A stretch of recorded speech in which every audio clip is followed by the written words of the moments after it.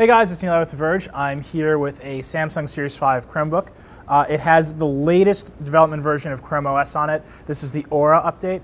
Uh, a lot of UI changes, a lot of new ways this thing works. So uh, let's dive in and take a look.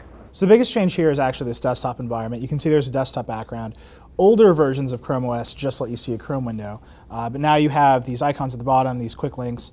You've got a little control panel over here, lets you change volume, brightness, change your Wi-Fi stuff, pop open the main settings window if you need it.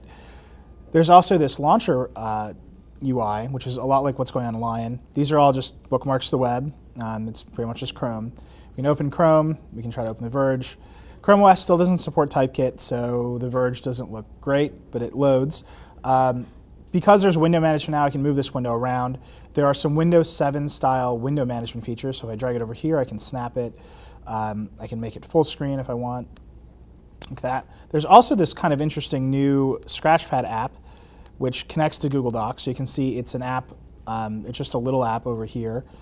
And if I go back, if I open Docs proper, so you can see there's now a Scratchpad folder, and I can see this note that I just made in Scratchpad. So it's cool. It's a little floating app over the top of everything else.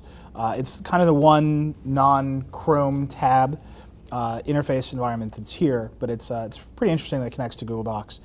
So that's it. That is the Chrome OS Aura interface on a Samsung Series 5 Chromebook.